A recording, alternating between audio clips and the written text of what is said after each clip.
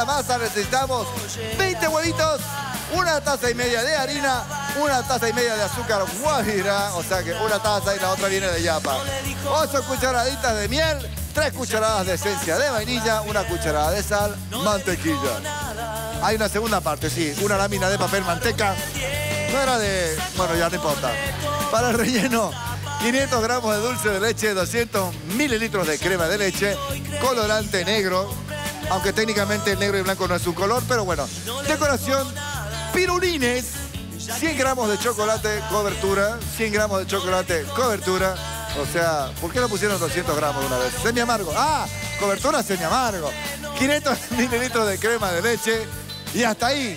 Hasta ahí se... Ir hasta que en la superficie podamos... Pero letra realizar- palme, letra script. Y ahí te empezás a dibujar. Hangumal, y- eh, hiragana, no, mentira.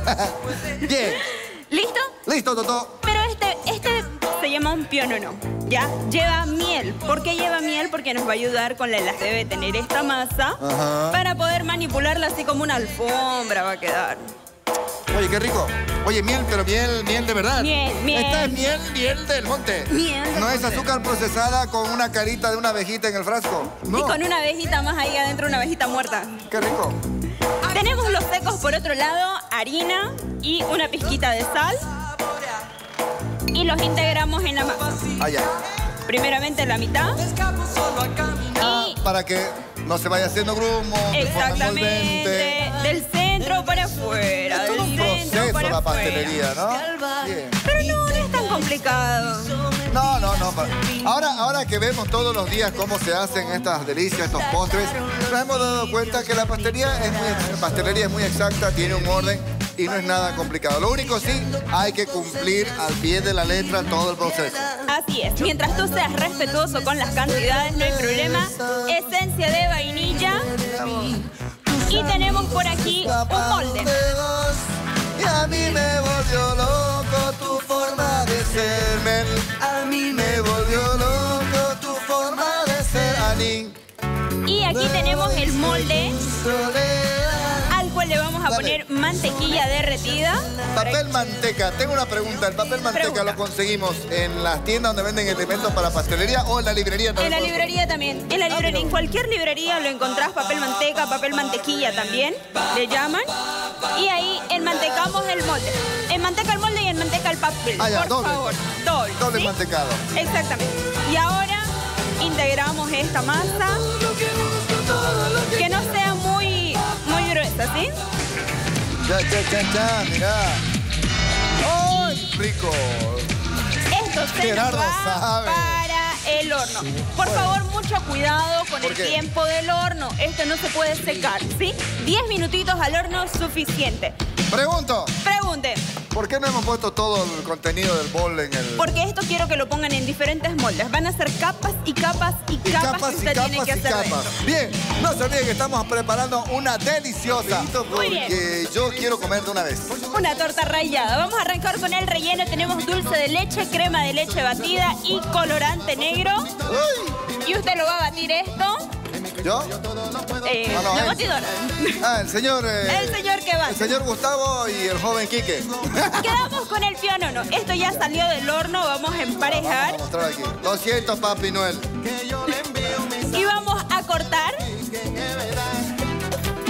Muy importante, no lo deje a la intemperie, no lo deje al aire, porque esto no se puede Ni en secar. espacio exterior, no, no. No, no, no. Viene enrolladito desde que sale del horno. O sea, lo que mezclamos allá, esa cremita con el colorante negro, terminó siendo esta pasta Exactamente. dulce. Oye, qué rico. Mm. Y luego Y ahí se va. lo esparcimos. Lo esparcimos. Con mucho cuidado porque el pionono, por si acaso, en casa, es muy frágil, ¿no? Se deshace con mucha facilidad. ¿El pionono? El Sí. pionono, ¿te acuerdas que le pusimos miel?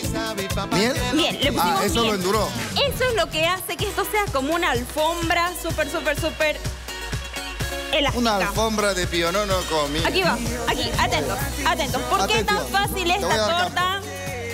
Empezamos a enrollar, a enrollar, a enrollar, a enrollar, a enrollar. Y lo convertimos en un sushi de pionono. Ah, continúa. Continúa, continúa, continúa y así seguimos hasta completar todo el tamaño, hasta el diámetro que usted desee realizar su torta. continuamos. Bisturí, ¿sí o no? no? Así es.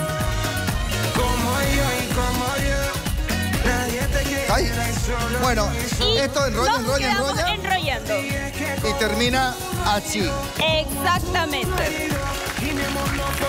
Ahora vamos a decorar con un poquito de crema de Ah, leche. La vamos a mover un poquito para acá para que la gente tenga un mejor detalle, lo pueda ver muy bien. Simplemente un Básicamente poquito. hicimos así, todo ardiendo. Sacan el extinguidor o los cubiertos. Bien. Sara y San. O sea, no hay que hacerle mucho detalle, solamente cubrirlo. No, ¿por qué? Porque vamos a empezar a cubrir con estos cubanitos. ¿Cómo le llaman? a- tiene un nombre esto. Yo le llamo cubanitos.